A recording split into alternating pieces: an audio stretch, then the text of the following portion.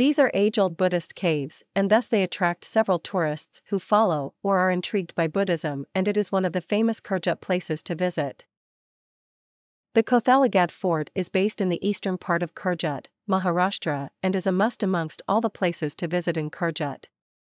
The Jain Temple is a significant place of worship for the Jain community in Karjat.